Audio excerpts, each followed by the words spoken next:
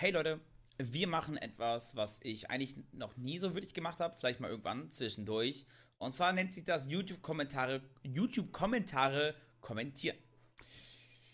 Zu diesem Video, Yumi ist ein schwerer Champion, also laut Riot ist Yumi ein schwieriger Champion. Habe ich hier Kommentare unter meinem Video gesehen, wo ich Kopfschmerzen kriege, wo ich teilweise in Frage stelle, wie schlau einige Menschen sind. Ja. Ähm, gibt natürlich jeder, welche sagen, Silvi, du hast recht, Silvi, du hast nicht recht und so weiter und so fort. Natürlich will ich nicht sagen, dass ich der ultimative Gott bin und irgendwie immer recht habe oder so. Darum geht mir das auch gar nicht, ja. Sondern eher um das generelle Verständnis von dem Yumi-Problem selbst. Na, einige haben gesagt, ja, muss ich recht geben. Als Yumi rauskam, zweite Games, dann kamen die 0, 2, 30 Runden. Ähm, bin Gold-Elo, braucht zweite Games, Yumi vernünftig spielen zu können. Da ist nicht schwer dran und so weiter und so fort, ne. Da wird sich auch noch über Center beschwert, ist doch fein. Aber es gibt ja generell auch noch mal ein paar andere Probleme. Wie sich alle um einen nutzlosen Heal-Champion aufregen. Soraka, Soraka, Jenna, Sona, Silas mit Hard Mass CC und andere, die sich mit einem Heal hochrennen können, sind aber völlig fein. Ich hoffe, Yumi wird eure Elo zerstören, ihr nutzt den Assassins, mich eingeschlossen. Soraka, Jenna und Sona sind auch nervige Champions auf ihre eigene Art und Weise. Hier ist aber das Wichtige, ich kann etwas, ich kann aktiv etwas gegen diese Champions tun. Leute, wenn ich Rengar spiele, ich one-shot am liebsten Assassins. Äh, ich one-shotte am liebsten die Supporter. Ja, Supporter haben viel mehr Impact, als die meisten ihnen Credits geben wollen, ähm, was ich persönlich schade finde. Ja, ich finde, Supporter sollte man viel mehr würdigen, gerade auch in den Loring Edos ist es so, dass man sagt, Support, du bist eh nur meine Bitch. Ähm, Silas passt irgendwie nicht rein, über den will ich jetzt gerade gar nicht reden. Aber auch wenn diese Champions massiv hochgehen können, massiv peelen können und so weiter, kann ich aktiv gegen sie etwas machen. Ich kann sie umbringen. Ich kann sie catchen. Ja, deswegen finde ich den Vergleich hier kacke. Ähm, äh, genau. Ich persönlich spiele auch immer mal wieder in der Runde Yumi, um ein Einzelproblem war, Vision zu platzieren. Das ist aber ein Problem, das ich generell habe. Ich denke aber auch, dass vor allem Spieler, äh, vor allem Spieler Yumi zocken, um Elo zu machen und, und nicht hier, um Elo zu machen und nicht, weil es ihnen wirklich Spaß macht, Yumi zu spielen. Das ist subjektiv, ähm, ob es ihnen Fun macht oder nicht, aber es gibt äh, Temp-Elo-Player. Das sind Spieler, die einfach nur broken Sachen spielen, um temporär Elo zu machen und nicht, weil sie gut sind. Denn alles, was du machst, ist Tab drücken, den gefeedeten Spieler in deinem Team entdecken, W drücken und dann einfach Q und E spam. Ist ein bisschen übertrieben aus, aber schon technisch gesehen. Aus diesen Gründen denke ich, dass Yumi kein guter Champion für das Spiel ist. Stimme ich grundlegend einfach mal mit zu. Ja, den einzigen Skill, den Yumi hat, ist es einmal kurz rauszugehen, zu Auto-Attack und mit W wieder reinzugehen. Das war's. Das ist der einzige Skill, den ein Yumi-Spieler braucht. Jetzt ja ein sehr interessanter Kommentar. Spielt einmal Yumi, bevor ihr dar darüber kommentiert. Leute, ich habe oft genug Yumi gespielt, als sie noch rausgekommen ist. Ja. Muss denn jeder Champion ein Skill-Champion sein? Darf doch einfach sein. Das stimmt, Leute. Nicht jeder Champion muss ein schwieriger Champion sein. Ist doch komplett fein. Soraka, Leona sind einfacher als Yumi zu spielen. Das stimmt nicht. Das stimmt mal gar nicht. Ich muss mit Soraka auf meinen Gegner wirklich vorgehen und ihn aktiv poken. Und nicht auf Q drücken und eine Maus ziehen. Ja. Ich muss als Soraka meine Q treffen, damit meine W vernünftig hielt. Ich muss als Soraka auf mein Positioning aufpassen. Ich muss als Leona darauf achten, dass der Engage stimmt. Dass ich richtig stehe im Bezug zu meinem ADC. Weil als Soraka muss ich auch nochmal Sachen vernünftig dodgen, ja? Man kann auch nicht jedem äh, irgendwie immer folgen. Äh, und muss man auch nochmal Schuhe kaufen. Das heißt, Yumi kommt früher an, an ihre Items ran. Digga, wie kommt man darauf zu sagen, dass Leona einfacher ist als Yumi. Also ich will nicht sagen, dass Leona schwer ist, ja. Aber die Skillsets, die eine Leona haben muss, sind mal tausendmal größer. Ich muss warden. Ich muss peelen. Ich muss wissen, engage ich jetzt oder peel ich jetzt, ja? Ich muss gucken, dass wenn ich engage, dass mein Team auch in einer Position ist, um mir Follow-up geben zu können. Ich muss roam gehen können, Leute. Ich muss mehr wissen als, oh mein Gott, ich hole mir Athenes und dann Abendsensor und dann Redemption. Digga, sag mir doch bitte nicht, dass Leona einfacher ist als fucking Yumi. Wenn du mit Yumi ein, ein Stand bekommst, soll es dann sein, ist sie zu 80% tot. Ja. Und wie oft, wie oft gibt es denn das Zeitfenster, wo ich eine Yumi stunnen kann? Richtig, Leute. Wenn sie sich für eine Sekunde, alle 10 Sekunden mal dafür entscheidet, rauszukommen. Wann denn sonst? Ja, außer du machst einen Skill-Sidestep. Technisch gesehen stimmt das, aber wie groß ist das Zeitfenster? Soraka kann ich technisch gesehen immer töten. Jenna auch, Sona auch. Wir, wir achten jetzt mal nicht, nicht auf das Positioning, ja. Ähm, Yumi kann ich nur dann töten, wenn sie rauskommt. Das war's. Sie ist keine LeBlanc oder Aurelien Zoll, aber einfach ist sie nicht. Kannst du mir sagen, was du willst. Also Yumi ist giga einfach. Digga, ich, ich schwöre euch, Leute, ich schwöre euch, wenn ihr Yumi nicht könnt, dann seid ihr mega casual. Ist doch okay. Habe ich auch kein Problem mit, ja. Es geht auch nicht darum, dass Champions nicht einfach sein dürfen. Die Frage ist aber, wie viel stecke ich in einen Champion rein und wie viel kriege ich raus? Ähm, Master Yi, Leute, ist der klassische Low-Elo-Champion. Wenn ihr euch mal die Statistiken von hier anschauen solltet, in Low Elo hat er eine hohe Winrate und je höher wir kommen in der Elo, desto weiter geht sie nach unten. Deswegen ist sie ein Noob Stomper Champion. Ja. Ähm, weil die Leute wissen nicht, wie man dagegen spielt.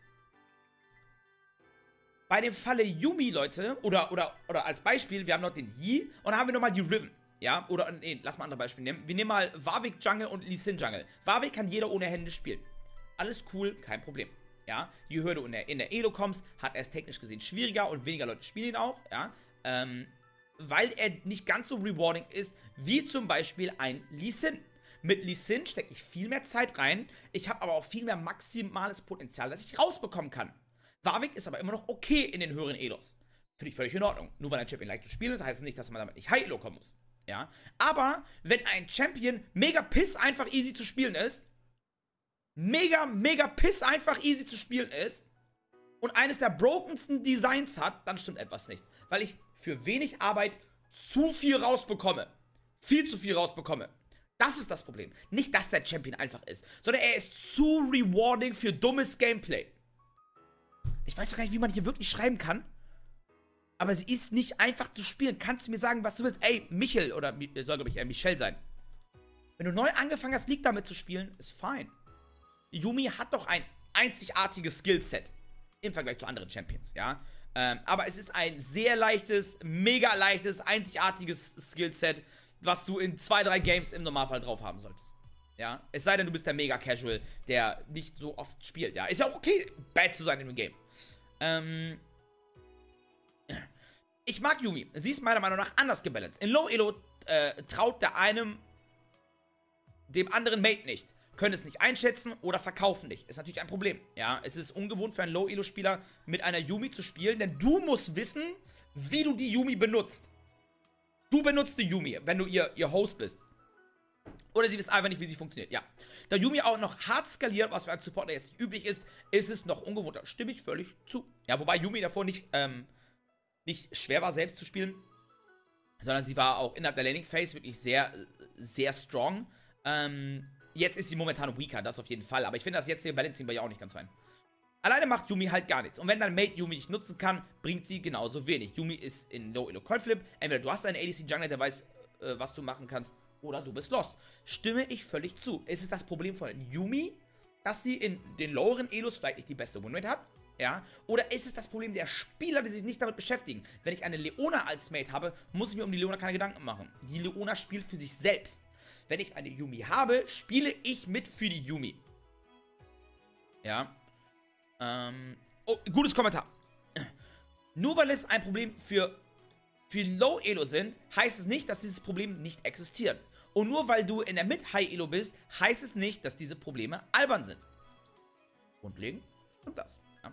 Außerdem ist es doch nicht schlimm, wenn es einen Champion gibt, da Neueinsteiger etwas sehr Simples haben und sich vielleicht nicht auf ideale Art und Weise erstmal ein paar Kleinigkeiten ins Spiel äh, hineinfinden. PS, wie Vera F. Birkebiel schon sagte, Rechtschreibfehler sind egal, solange man, solange, solange man versteht, was man sagen will, denn auch mit Rechtschreibfehlern ist es eine Art der Kommunikation. Grundlegend stimmt das hier total. Hier geht es aber wieder um Zeitinvestment und Reward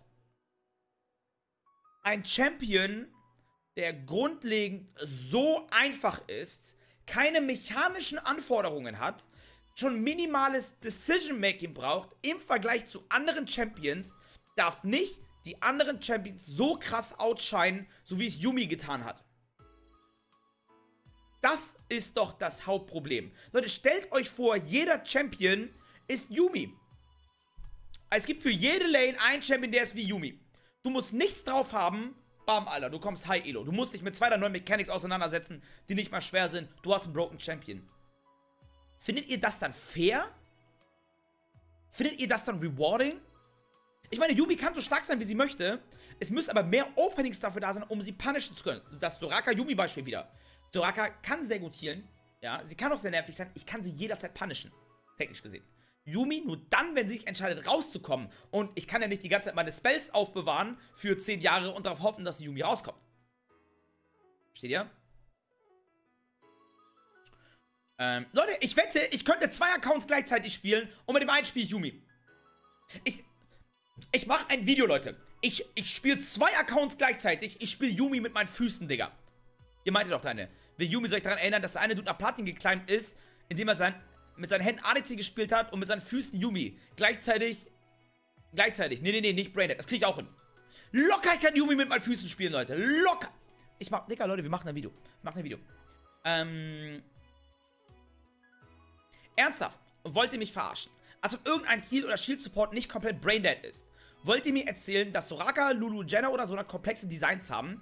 Ähm, es geht hier nicht unbedingt um komplexe Designs. Vielleicht habe ich es in, dem Video falsch rüber gemacht. Ja, aber dazu kommen wir gleich. Mit jedem dieser Champions drückst du letztendlich auf eine Taste und hältst das fette Kind im Team am Leben. Das einzige bei Yumi ist, im Gegensatz zu den anderen Champions, kannst du sie nicht fokussen. Und hast dadurch deutlich weniger Möglichkeiten, sie zu punishen. Ich zum Beispiel spiele aus Prinzip Yumi, wenn man ADC Azul einloggt, da wir so eine absolute Freelane bekommen. Ist völlig in Ordnung. Ist völlig... Leute, das, das stimmt hier. Ja.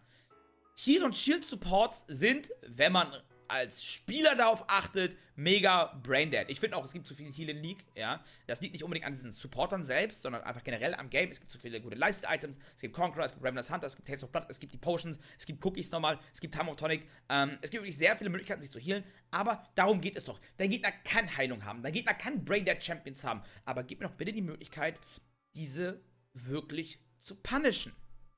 Mehr ist es nicht. Seit wann ist Sivy eigentlich so ein großer Yumi-Hater? Ich habe im letzten Patch immer, ich habe immer Yumi gewandt, Leute. Mittlerweile bann ich immer Senna, weil Yumi hat schon einen auf die Fresse bekommen. Ähm, aber ich habe Yumi Ewigkeiten gebannt, Leute. Und wenn ich sie mal nicht gebannt hatte, habe ich es immer bereut. Ja. Ähm, sonst gab es ja, glaube ich, nichts Interessantes, wenn ich mich jetzt nicht irre. Ähm, Ah, hier, Low-Elo-Probleme sind aber, sind aber dann Probleme, die etwa äh, 86% der LoL-Spieler haben, wenn man sich die Solo-Queue-Verteilung anschaut. Stimmt natürlich auch. Ist natürlich immer so, so eine Frage vom Balancing. Wie balance ich einen Champion? Muss er denn in beiden Elos viable sein? Die Frage ist nur, ab wann wird dieser Champion toxisch? Leute, wenn ich mir Garens Winrate zum Beispiel mal anschaue, Garen hat eine sehr toxische Winrate. Moment kurz. Moment damit ihr das mal kurz sehen könnt. Ich finde, Garen ist momentan ein sehr toxischer Champion. Also, Rankeds Only EU West. Ja. 53% Winrate auf 20% Pickrate. Mega broken in Low Elo.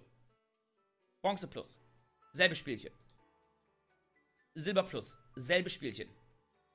Gold Plus. Leute, 20% Pickrate ist, äh, ist sehr hoch ähm, für Toplaner. Bei ADCs habt, ist, es, ist es eher gängiger, weil dort nur in der Regel so drei, vier ADCs gespielt werden. Für Toplane ist es krass. Gold, immer noch sehr, sehr, sehr, sehr stark. Platin, sehr, sehr, sehr, sehr, sehr stark. Und dann in dir geht es hier dann äh, momentan Richtung nach unten. Ja. That's fine. That's fine. Aber Garen dominiert drei, äh, oder, oder ist Platin? Platin ist noch sehr gut, ja. Aber von Iron bis Gold dominiert Garen mega hart. Ich weiß gar nicht, wie es überhaupt in, in, in, Master aussieht, ja. Das heißt, Garen bräuchte technisch gesehen einen Nerf für Low Elo. Warum? Er ist nicht stark, er hat Broken-Status erreicht. Und dann in dir ist er unten. Das ist fein. Ja, nerf ihn ein bisschen für Low Elo. Ich persönlich würde seine W ein bisschen nerven. Ja, ähm, oder, ja, die Resistenzen, die er bekommt, würde ich ein bisschen senken. Das ist zu stark. Für die Low Elos. Wenn es aber so ist, in andersrum für Yumi, dann ist es auch ein Problem. Champions dürfen stark sein, sie dürfen aber nicht auf diesen Broken Threshold kommen. Und dort kommt Yumi, oder die alte Yumi dort sehr leicht hin. Ja, Yumi vor dem Nerf. Ich, ich spiele sie mit dem Fuß, Leute. Ich spiele sie mit dem fucking Fuß. Aber yo, ich wollte nochmal so kurz auf YouTube-Kommentare eingehen. Ähm, ich habe, Leute, ich habe Kopfschmerzen bekommen, als ich das auf meinem Handy gesehen habe. Musste instant dieses Video machen. Und jetzt könnt ihr eure Meinung nochmal dazu schreiben.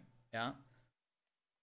Ich mach's einfach mit dem Fuß, Leute. Ich bin dann aber auch erstmal weg. Tschö, tschö, hau dir rein und bis zum nächsten Mal.